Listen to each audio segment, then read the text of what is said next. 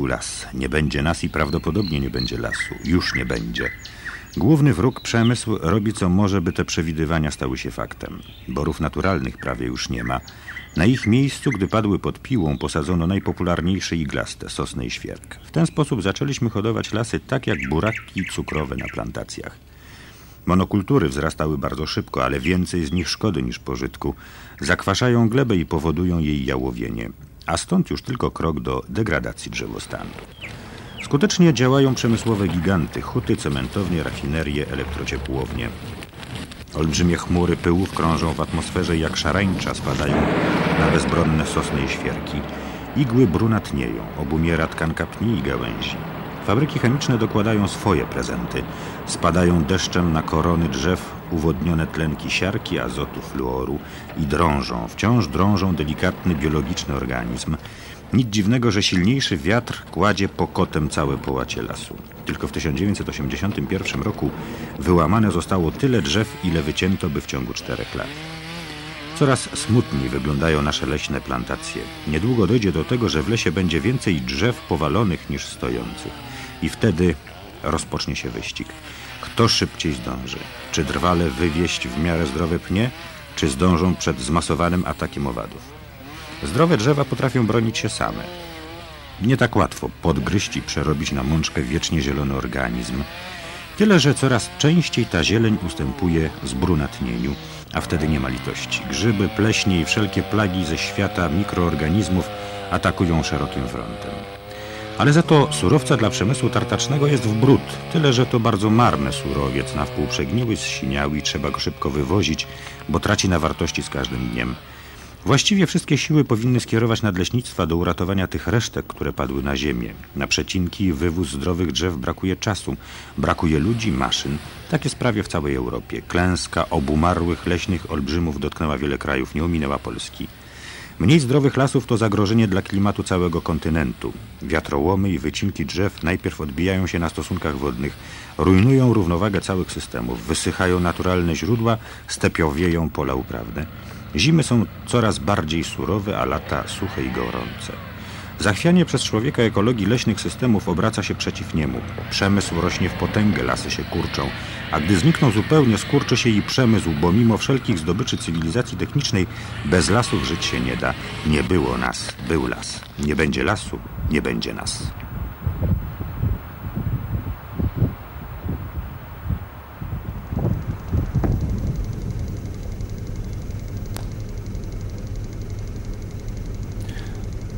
Nie będzie nas, nie będzie lasu. Drzewa umierają stojąc. Co roku prawie ogłasza się alarm. Alarm dla milionów hektarów lasu. Wystarczy powiedzieć, że w 1982 roku brudnica mniszka zaatakowała 2,5 miliona hektarów lasu w Polsce. Zwalczano ją przy pomocy 160 samolotów, 25 helikopterów, dziesiątków ton środków chemicznych w ciągu zaledwie trzech tygodni. Ten właśnie niepozorny, mały owad. Brudnica mniszka potrafi wyrządzić w drzewostanie tak wielkie szkody, że po ataku tego owada drzew już prawie nie ma. Są bez igieł. Bo właśnie na igłach najczęściej żerują, żeruje brudnica mniszka. Tutaj widać wyraźnie, jak pałaszuje z wielkim apetytem. Ale oprócz brudnicy jest jeszcze szereg innych szkodników pierwotnych, tych, które atakują las zdrowy. Barczatka sosnówka. Tu również w sterylnych warunkach wykazuje niesamowity apetyt. Zajada igły, niszcząc tym samym las. I co roku powtarza się ta sama historia. Lasy mają więcej przeciwników w postaci owadów, aniżeli sprzymierzeńców. Po tym pierwszym ataku, po ataku szkodników pierwotnych, takich jak brudnica, sosnówka, strzygonia, chojnówka, cetyniec, ostnuja gwieździsta, wymieniać można długo, las zaczynają atakować szkodniki wtórne. Takie jak na przykład kozioruk dębos w dębowym drewnie, twardym, olbrzymie otwory, głębokie, na centymetr, dwa, szpary czy mniej agresywne, takie jak żerdzianka, sosnówka, ale czyniące w sośnie również bardzo dużo szkód, przecinające trakty, którymi dostają się środki, dostają się odżywki z ziemi do korony drzew. Wykarczak, spróchniałe drzewo, zniszczone doszczętnie. Czy wreszcie dwa miniaturowe owady i ich szkody. Drwalnik paskowany, widać komory lęgowe, z których wylęgają się larwy i kornik drukarz. Drukarz stąd, że drukuje jakby w korze ślad swojego istnienia. Drukuje tworząc jedną głęboką jamę, w której właśnie składa, składa 20 jaj, z których wylęgają się potem larwy. I niszczą dalej. Niszczą dalej łyko, które przecież stanowi dla drzewa trakt przesyłu odżywczych środków z ziemi do korony drzewa. Maleńki owad, który ma zaledwie milimetr, dwa, a potrafi wyrządzić tyle szkód, że całe lasy, jak na przykład w Sudetach, setki hektarów lasów stoją obumarłe. Nie ma ich. Ale groza dopiero zaczyna się wówczas, kiedy spojrzymy na tego owada nie okiem człowieka, a okiem mikroskopu, elektronowego, okiem elektronicznej wiązki. Dopiero wówczas widać, jak jest to groźny owad. W głębokiej próżni, w dyskretnym szumie pomp rozpoczyna się ten niezwykły seans. Ruch pokrętła otwiera zawór argonu i próżnia przestaje nią być. Półtora kilowolta napięcia zamienia szklany klosz w źródło jasnofioletowego światła. Wyładowanie między elektrodami służy tu jednak innym celom. Jedna z elektrod wykonana jest z czystego złota i nim właśnie pokryte zostają ciała owadów. W głębokiej próżni, w wiązce elektronów omiatających linia po linii złociste mumie owadów wypełnia się obraz. Dziwny, niesamowity stwór to kornik drukarz, tu w powiększeniu około tysiąca razy. Mikroskop skaningowy odkrywa przed nami niezwykłość tego miniaturowego potwora. Chitynowy pancerz, niczym zbroja, pokryty rogoto, rogowatymi włoskami. Głowa jak taran i dwie potężne łopaty szczęk. To nimi drąży szczeliny w korze i lęgowe jamy w świerkowym łyku. Oczy schowane za chitynową skorupą tylko na wolnym powietrzu wyłaniają się spod osłony. W ciemnych korytarzach, w korze i łyku wzrok jest mu niepotrzebny. Tu zastępuje go zapach. Ale zanim jeszcze trafi pod korę, zapach stanowi dla niego podstawową informację. To właśnie niezauważalny dla innych aromat, wydzielony wraz z odchodami przez inne osobniki tego gatunku, informuje go o bogactwie pożywienia. Gdy żywica z drzewa zacznie reagować substancją wydzielaną przez jelito grube kornika, powstają miniaturowe porcje feromonu. Niesione z powietrzem, pojedyncze cząsteczki trafiają w końcu na nos innego kornika. A nosem tym jest para czułków, potężnych, lekko cofniętych do tyłu w obawie przed uszkodzeniem. Poduszkowate czułki pokryte są tysiącami czuciowych włosków, a te z kolei mają w sobie dziesiątki porów. Nie widać ich, choć powiększenie zbliża się już do 11 tysięcy razy. Cząsteczka zapachowej substancji przenika przez pory i wiążąc się z odpowiednimi receptorami zawartymi w śluzie, powoduje powstanie impulsu nerwowego.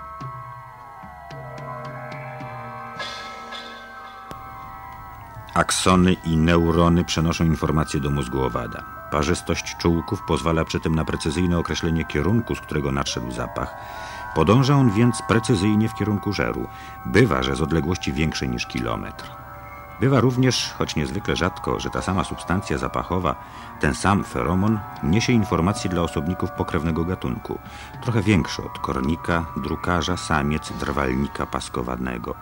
Podobny wygląd, jak i tryb życia, choć szczęki potężniejsze, bo wgryzać się musi głębiej w pień drzewa.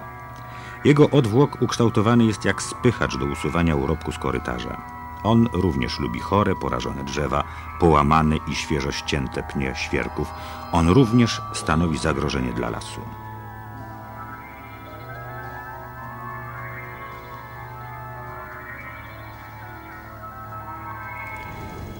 Verbenol to model struktury związku chemicznego feromonu produkowanego właśnie przez kornika drukarza.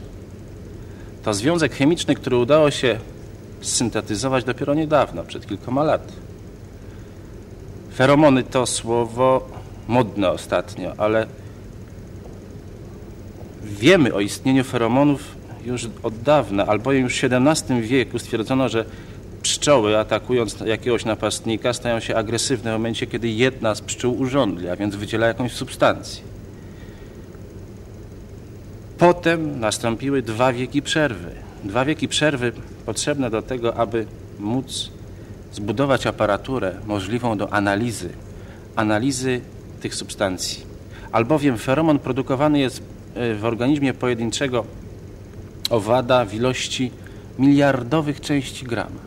Niesamowicie małych. I trzeba było na przykład, aby stwierdzić istnienie feromonu jedwabnika, bombrykolu, yy, wielu milionów samic tego gatunku trzeba było uśmiercić, aby potem wypreparować z nich odwłoki i z tej mieszaniny w superczułych spektroskopach masowych, superczułych chromatografach znaleźć związek chemiczny.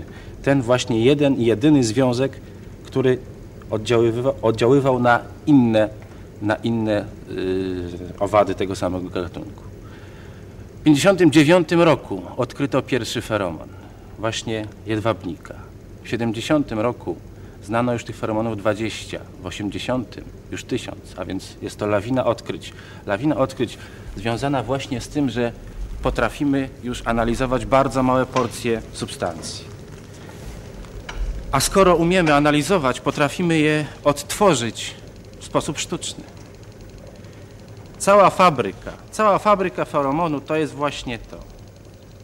Ta fabryka wystarczy, aby zwabić miliardy, miliardy owadów, a składa się ona z reaktora o odpowiednio kontrolowanej atmosferze. W tym przypadku jest to azot zgromadzony w specjalnym pojemniku i dostarczany do wnętrza reaktora. Mierzymy dokładnie temperatury, temperaturę, mieszamy substancje znajdujące się w środku, reagenty, aby stworzyć kilogram, 2-3 kilogramy feromonu, który wystarcza już do produkcji pułapek, do produkcji atraktantów zbierających, skupiających tysiące, miliony y, owadów. Jak widać, produkcja nie jest skomplikowana, ale, ale otrzymujemy, otrzymujemy feromon, znów substancję chemiczną o skomplikowanej strukturze, a struktura ta ma swoje bardzo ciekawe zawiłości. Proszę spojrzeć na ten jeden podwójny węzeł. Ta substancja nie jest feromonem, aczkolwiek jest identyczna pod względem chemicznym z tą substancją drugą. Identyczne dwie substancje, z których tylko jedna jest feromonem. Albowiem tutaj zostało zmienione jedno, jedyne wiązanie. Cząsteczka ta jest przyczepiona troszeczkę inaczej, aniżeli cząsteczka ta. I to już wystarcza, żeby ta substancja, właśnie ta substancja nie była feromonem, a ta substancja, żeby, żeby, żeby feromonem była.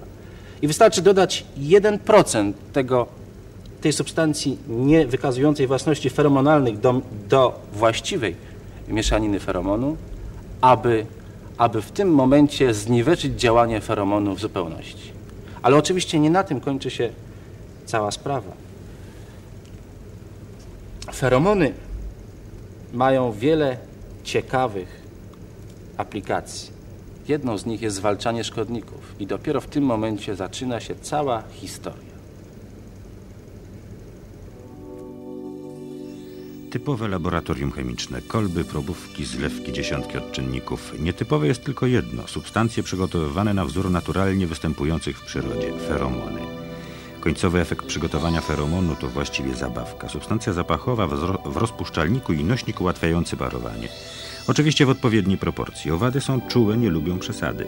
Każdy feromon, gdy stężenie jego przekroczy pewien próg, zaczyna działać odwrotnie. Z zapachu robi się smród. Owady nie lubią tłoku, wolą żerować tam, gdzie pożywienie jest w brud. Nie można wylać od tak po prostu jak perfumy. Substancja musi trzymać się długo, tak długo jak trwa ruja. Musi więc być nośnik zapachu, w tym przypadku celuloza, rodzaj specjalnej bibuły, i osłona przepuszczająca cząsteczki zapachowej substancji w jednakowym rytmie. Tu wykorzystano naturalne własności polietylenu. Zamknięcie termicznym spawem i dyspenser gotowy. Tak powstają egzemplarze testowe.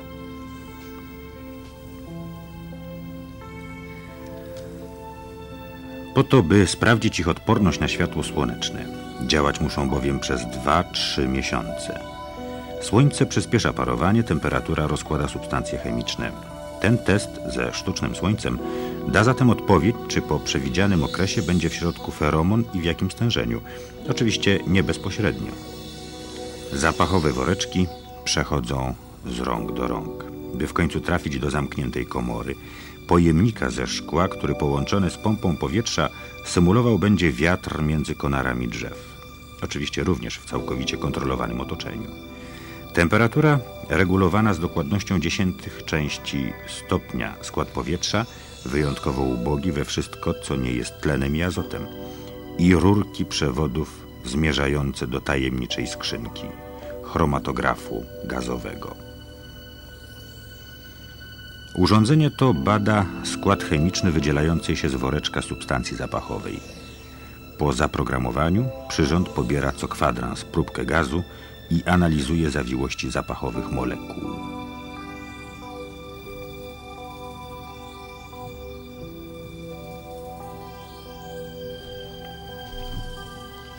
Każdy ze składników wybija ostrym pikiem na wykresie. Bywa, że działa tak całymi tygodniami bez przerw na odpoczynek.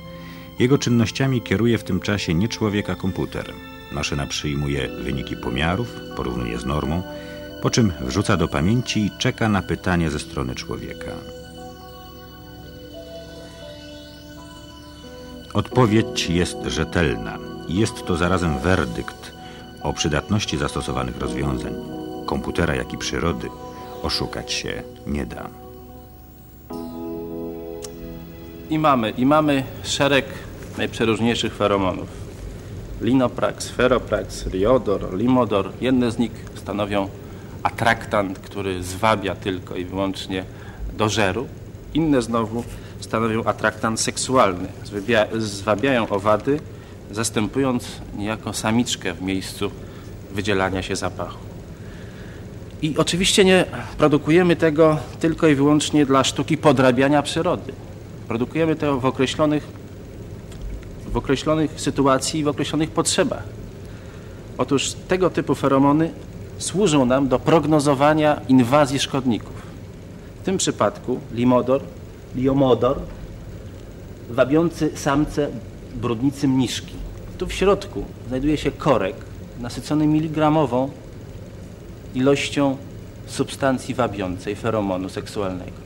Zwabione tutaj samce nie potrafią się już wydostać z tej pułapki, zostają wrzucone do środka, same wpadają zresztą do środka tej torebki i już po ilości owadów znajdujących się w środku jesteśmy w stanie stwierdzić, jak duże jest zagrożenie danego terenu lasu. Przypadek innej pułapki, również stosowanej w celach prognostycznych, na zwójkę sosnóweczkę. Tu natomiast jest substancja klejąca.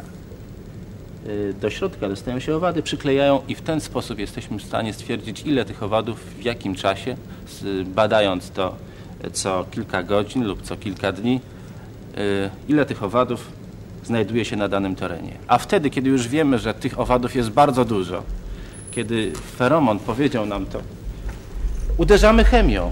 Nie na oślep, nie po omacku, nie lejemy 15 razy w ciągu roku, ale raz czy dwa razy i to nam w zupełności wystarcza, aby zniszczyć populację szkodnika.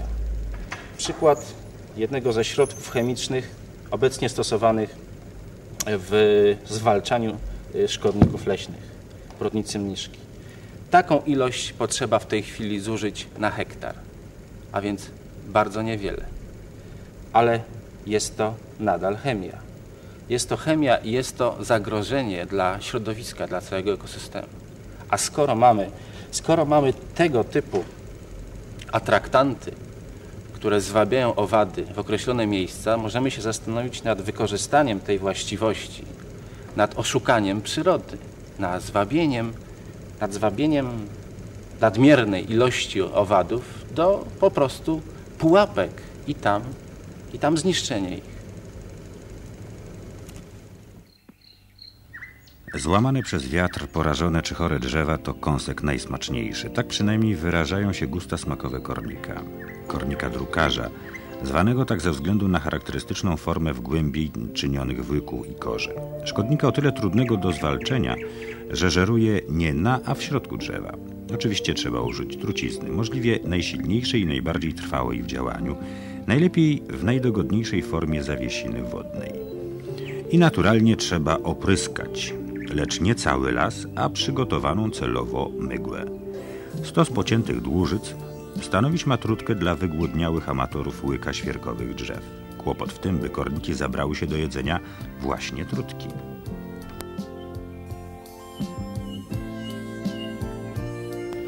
I tu z pomocą właśnie przychodzi feromon. Hermetyczne opakowanie otwiera się dopiero na miejscu akcji. Od tego momentu z torebki wydzielał się będzie chemiczny sygnał. Dużo dobrego jedzenia. Przez dwa miesiące drzewa mogą stać spokojnie. Ale nie zawsze trzeba uderzać chemią. Gdy zagęszczenie szkodnika nie jest zbyt wielkie, można próbować wyłapać owady w specjalnie przygotowanych pułapkach. Dla kornika z pozoru jest to duża różnica, ale my patrzymy oczami. Kornik drukarz kieruje się wyrachowaniem i węchem. I skoro ze środka nadchodzi sygnał o obfitości pożywienia, spełniający dodatkową funkcję, bowiem dający nadzieję na spotkanie samiczki, to nic dziwnego, że kornik traci głowę. Wchodzi do otworu i miast samiczki znajduje śmierć na dnie plastikowej butelki. Niestety pionowo fruwać nie potrafi. Tak oto, podglądając naturę, staliśmy się równie przebiegli.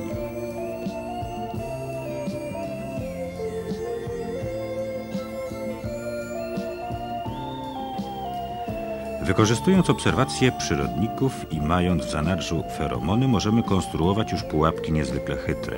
Ta konstrukcja ma okienka i daszki, ale z ulem niewiele ma wspólnego. Feromon w środku zwabiać ma bowiem kornikowate i żadnych innych owadów nie zainteresuje. Lecą więc z odległości 100-200, a bywa, że więcej metrów i nagle pac. Wpadają do środka, nieczułe na białą barwę pułapki. Ten kolor jest dla nich jak powietrze. Chciałoby się powiedzieć perfidia wyższego rzędu, ale cóż, gdy ich jest miliony, a leśników tak niewielu, dopiero teraz siły się wyrównują. Gra z pozoru nie fair staje się rzetelna. I efekty widać. Jednodobowy połów. Korniki w dużej ilości. Tysiące owadów miast w kurę drzew trafiło do pułapek. Populacja została zmniejszona. Próg szkodliwości znów opadł nieco niżej.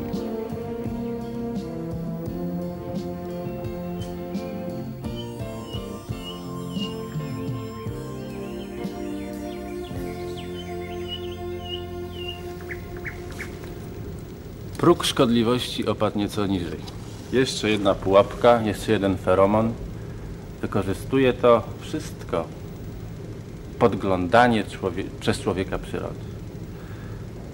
Bo wiedząc, znając obyczaje danego gatunku, znając zapach, który go wabi, potrafimy stworzyć właśnie konstrukcje imitujące jak ta na przykład pień drzewa z półkami jak kora, z otworami w środku, które pozwalają wniknąć do środka owadowi i tam spadając kończy swój żywot w zbiorniku na dole. Regulujemy bardzo wybiórczo populację danego gatunku. A przy tym e, robimy to niesamowicie chytrze, e, w bardzo wyrafinowany sposób, albowiem e, nie trzeba konstruować zbyt skomplikowanych pułapek. Oszukujemy po prostu owada w najprostszy możliwy sposób. Ta pułapka na przykład została wykonana w Instytucie Badaczym Leśnictwa z tekpolu, z tektury wykonanej z tworzywa sztucznego.